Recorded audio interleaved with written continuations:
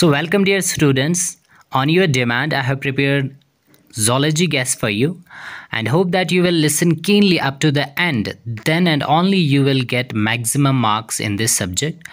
So first of all, let's see in evolution and genetics. So from this evolution, you will study Darwin's theory of natural selection, Oparin-Haldane theory, Urey-Miller experiment, and Hardy-Weinberg's law. Then we are having short topics like convergent and divergent. You should have concept of this homologs and analogous organs. Similarly, evolution of man, a brief regarding this.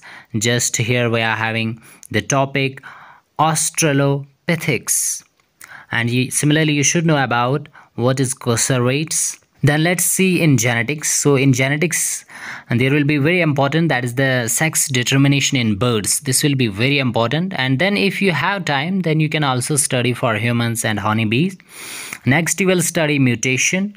And then there are the syndromes downs Klinefelter's and Turner syndrome. And next we will study about uh, hemophilia and color blindness. Sometimes ob objective is asked from these topics. Let's move towards the next unit that is the reproduction. So here you will study the asexual reproduction, its types particularly by having the binary fission budding. You should have the introduction of these sporulation, fragmentation, regeneration and gemmule formation. And similarly next very important topic is the gametogenesis, oogenesis and spermatogenesis.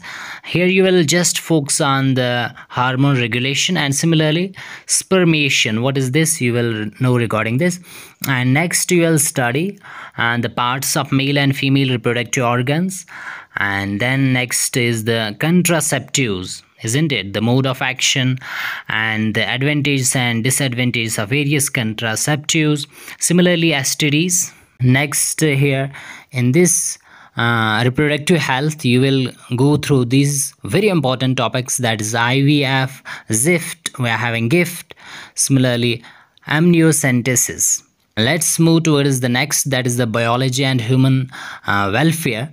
So here you will just study um, in broad and the cancer aids and uh, types of immunoglobulins and you should also know about the causative agents symptoms and preventive measures of and just typhoid hepatitis we are having um, filariasis we are having malaria ascariasis common cold amoebiasis and ringworm. Sometimes iupc name of ringworm is asked. So you should have general knowledge of these. Next you will study here the innate and acquired immunity very important. Similarly you should have the concept of active and passive here Mm, next is unit is biotechnology and its application. Here you will study application of recombinant recombinant dna technology.